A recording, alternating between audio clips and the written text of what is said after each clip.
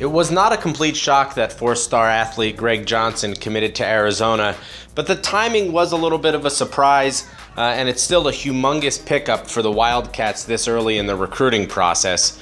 Uh, the Los Angeles Hawkins prospect can play both ways. He's excellent at running back, he can also line up in the slot. Uh, if needed, um, but I think he's probably going to be used at cornerback uh, mainly at Arizona. Uh, Tony Dews and Donte Williams, uh, he's the new cornerbacks coach there. Both did a phenomenal job recruiting him for months. Uh, he took a visit this past weekend to Tucson with a bunch of teammates. Uh, and he decided that that was the place for him. Uh, basically, everybody across the country offered this kid uh, as an athlete to play either offense or defense.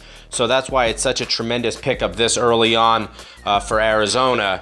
And it's going to help with the other Hawkins players. They're very close, they're all friends. Uh, they all play seven on seven together. Um, so I'm not predicting that Joseph Lewis and Jalen Hall end up at Arizona, but this definitely gives Arizona a leg up in the recruitment of Marcus Johnson, who is Greg's brother, um, and some other prospects down the line uh, as Arizona continues to build uh, into one of the better teams in the Pac 12. Yahoo!